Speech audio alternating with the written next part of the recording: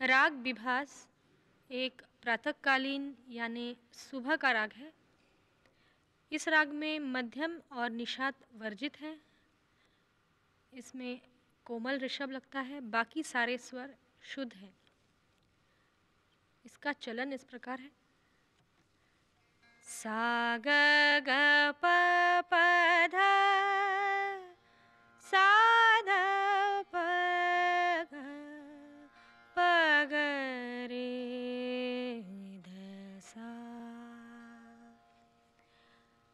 ये राग कुछ लोग कोमल धैवत लेके गाते हैं, कुछ लोग शुद्ध धैवत और कर्नाटक संगीत में दोनों धैवत लेने की प्रथा है। मैं जो प्रस्तुत कर रही हूँ, ये शुद्ध धैवत का विभास प्रस्तुत कर रही हूँ।